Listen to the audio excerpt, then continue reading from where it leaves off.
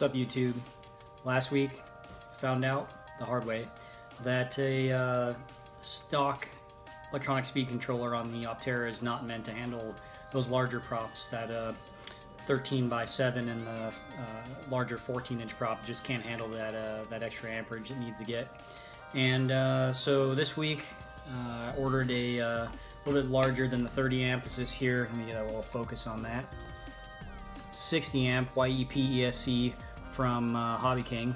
Came in at $32, so a pretty reasonable cost. Also picked up the uh, programming card there, $6 extra. Makes it a little easier to program. Uh, so yeah, I'm gonna go ahead and wire that guy up and, uh, and we'll go from there.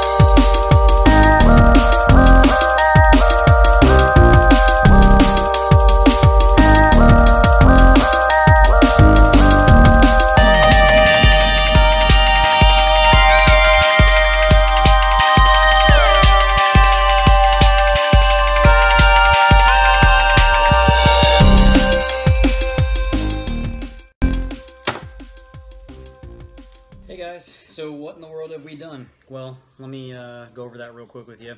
Uh, the first thing we did was we uh, uninstalled this uh, 40 amp E-flite uh, electronic speed controller um, out of the Opterra in favor of our 60 amp. Uh, I've got that hooked up. I actually pulled the motor and took the prop off. kind of a word of advice. Learned the hard way that one too. Uh, do not try to program an ESC with the prop attached. It's a bad idea. Pretty much any way you any way you fold it. Um, so uh, then the next thing I did was um, I made sure the prop is going in the right direction. Uh, very simple to do. Uh, what you do is you've got your three wires here. Um, so go ahead and uh, plug everything in like you were going to run it. This thing is set up for the, the speed controller. The um, uh, YEP speed controller is set up for helicopter um, to begin with, but that's fine. It'll still work. Um, just plug everything in like normal.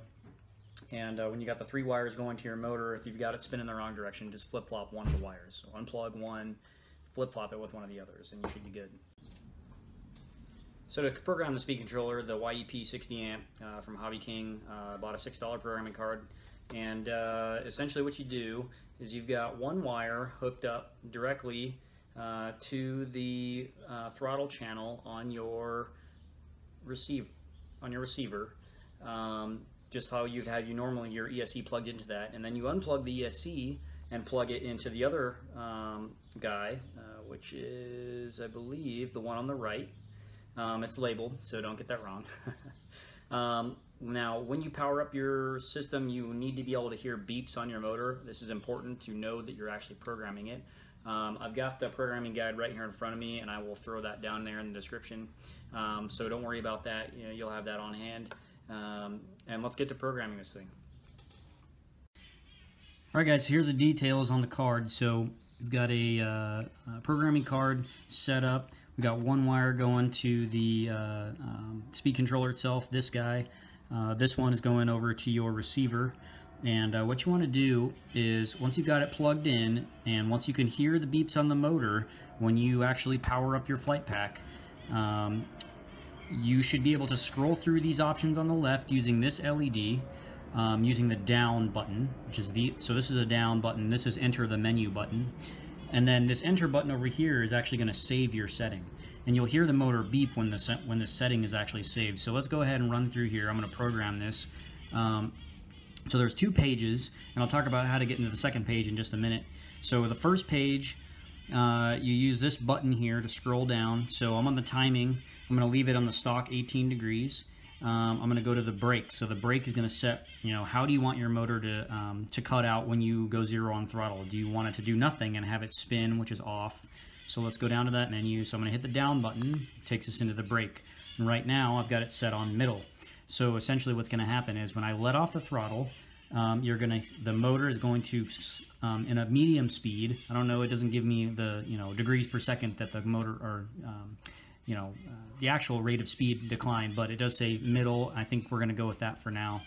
Um, you can go to the cutoff type, which is how. So there's got two options here. Um, this displayed if you line up the LEDs. So um, right now I've got it to slow down when the battery voltage is low and I've got it set on LiPo, which is exactly what I want. I don't want it to just turn off when the batteries die. I want it to slow down.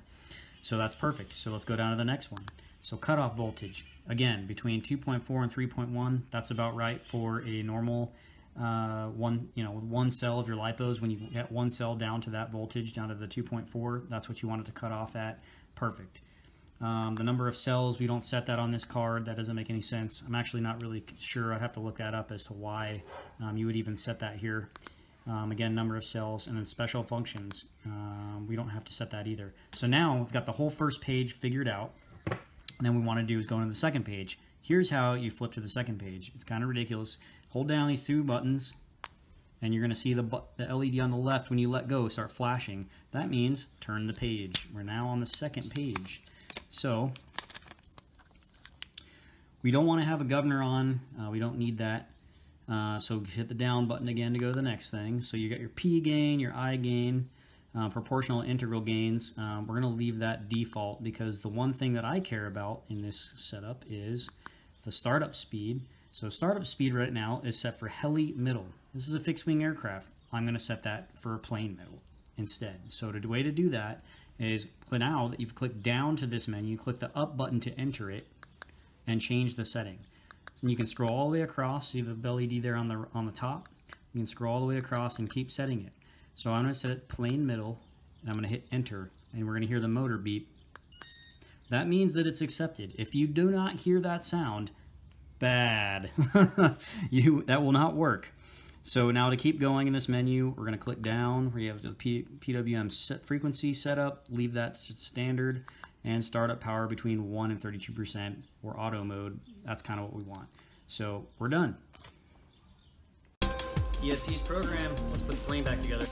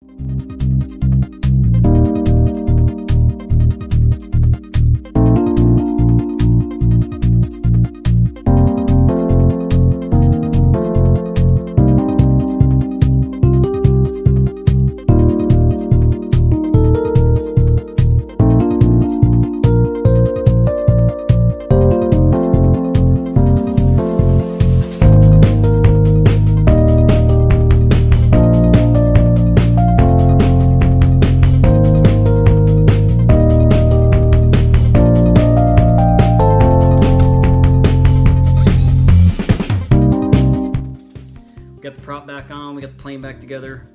Stay tuned. Uh, this weekend I'm going to be shooting the next video, which is going to be uh, finally with the new ESC uh, that can handle the amperage and a new scale that can handle the thrust of the E-flite Opterra. Hoping to get those numbers up there, so uh, stay